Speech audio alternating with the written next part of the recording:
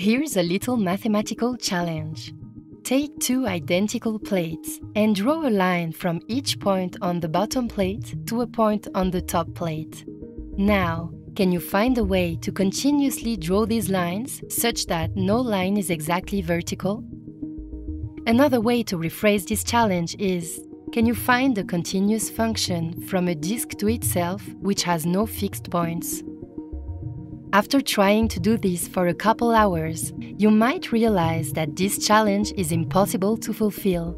The reason behind it has a wonderful proof, which uses some of the core ideas of modern math. Today, I want to show you this proof, not just for the case of two plates, but also for the case of spheres and hyperspheres. This video is aimed for a general audience, so I can't promise that we'll cover everything completely rigorously. Our aim will be just to get the main intuitive feel for how the proof works. But for those that are interested, there are lots of wonderful sources linked in the description that fill in all the details. Okay, with that said, let's start with our proof.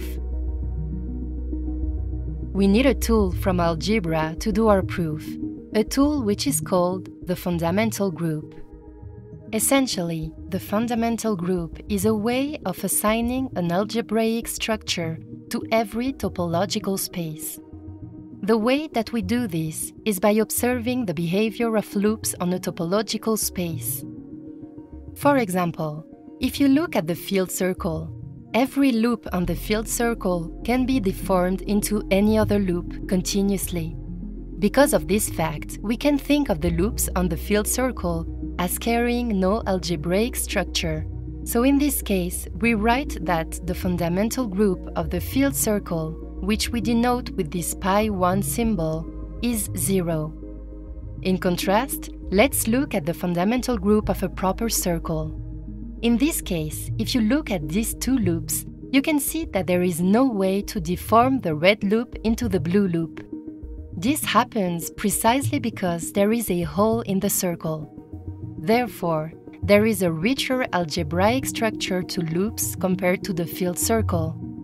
In particular, all the possible classes of loops that can't be deformed into each other can be labeled by an integer, which corresponds to how many times the loop wraps around the circle and in which direction. So we say that the fundamental group of the circle is the integers, which we denote as z.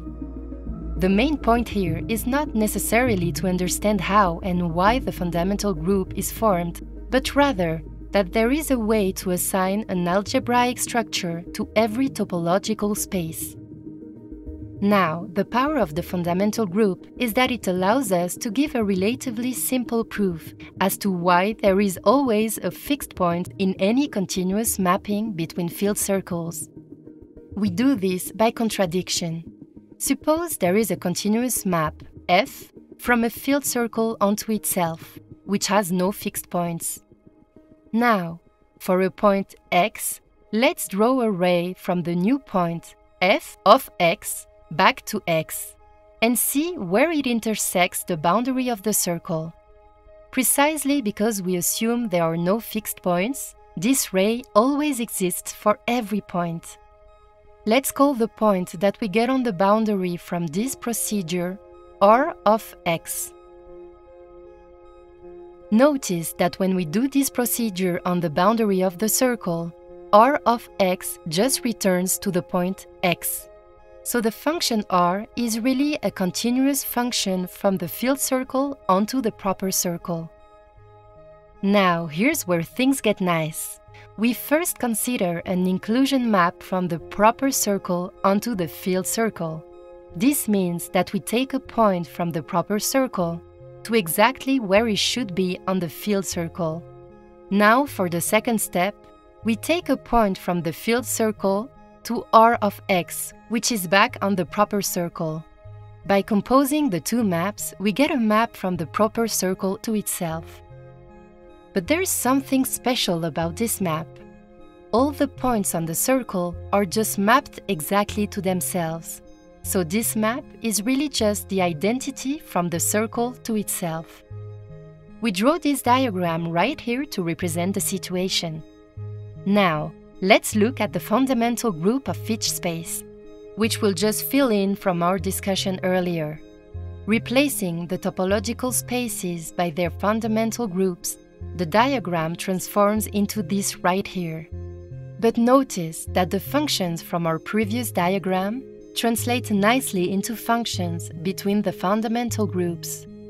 Let's try to intuitively understand why the functions between topological spaces translate into functions between the fundamental groups. First, remember that the fundamental group get its algebraic structure from the behavior of loops on a topological space. Now, think about a loop on a topological space. When we apply a continuous function to the whole topological space, this loop is mapped to a new loop on the new topological space.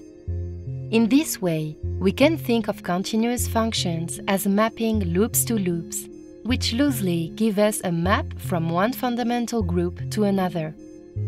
The main important result here is that our maps, I and R, give us these new maps between the fundamental groups.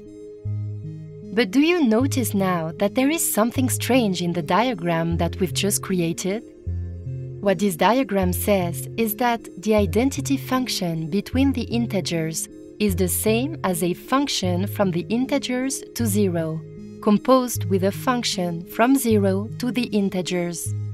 But this very obviously can't be true, because then the function from zero to the integers would need to have several different outputs from one input. But this is no longer a function.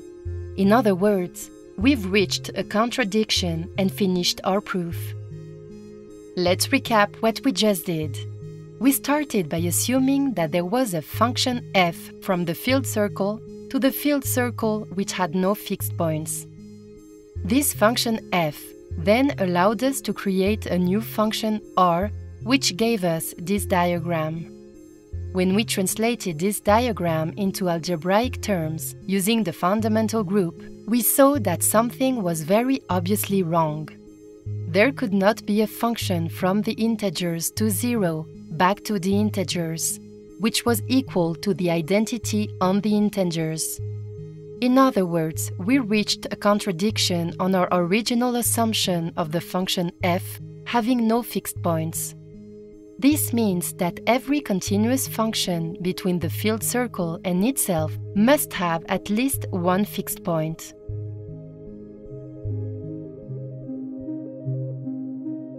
If this is all a bit confusing, please don't be alarmed. What you're learning now is typically an idea that is shown at the end of a math undergraduate curriculum or even at the start of a graduate program in math.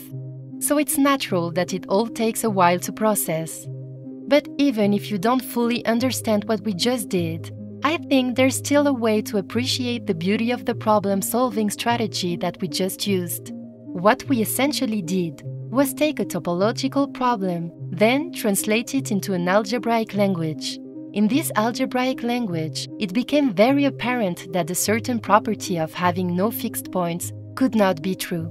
So we took what looked to be a very difficult problem and made it incredibly easy by translating it to algebraic terms.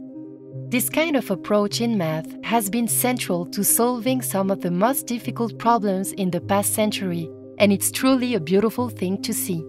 What we just proved is called Brouwer's fixed point theorem in two dimensions, which says that a continuous map between a field circle to itself must always have a fixed point. Now, I want to talk briefly about how one can generalize this from two dimensions to three, four, and arbitrarily large dimensions. So, for the case of three dimensions, our statement would say that any map from a field sphere to itself must contain a fixed point. The way that you would prove this is very similar to our original strategy, but instead of using the fundamental group, we will use another algebraic object known as the singular homology. It would be a big digression on this video to explain the singular homology, so I'll skip out on this for this video. But actually, we don't really need to even know how the singular homology is constructed to understand this proof. All that is really important for us to know is that the singular homology assigns an algebraic object to a topological space, just like with the fundamental group. So we proceed like before by assuming that there is a map which has no fixed points, and then trying to find a contradiction. We again create a function r, which draws the ray from f of x to x and returns to the point of intersection on the boundary. Composing this with the inclusion like before, we get a very similar diagram like last time. And again, just like before, we'll translate this diagram back to algebraic language to make it simpler. In this case, all the information that we need to prove the theorem is that the singular homology of the field sphere is zero, and the singular homology of the proper sphere is not zero. So our translated diagram looks something like this. Here K is an algebraic object which is not zero. But again, what the diagram here is saying is that the identity function of K is the same as a function which goes from K to zero and then from 0 back to k. But because k is not 0 itself, this is evidently false and is a contradiction. This means that every continuous map between field spheres must have a fixed point. Again, let's recap what we just did. We essentially took our original topological problem and translated it to algebraic terms with the singular homology. Now, when looking at the problem through algebraic terms, it became very clear that a contradiction arises when there are no fixed points. So, the difficult problem in topology became incredibly simple when looking at it through the world of algebra. Thank you for watching this video. I hope that this explanation was interesting for you and made sense. This is a hard topic to talk about to a general audience, but nevertheless, the key message that I want you to take away is that difficult topological problems can often be easily solved by translating into algebraic language.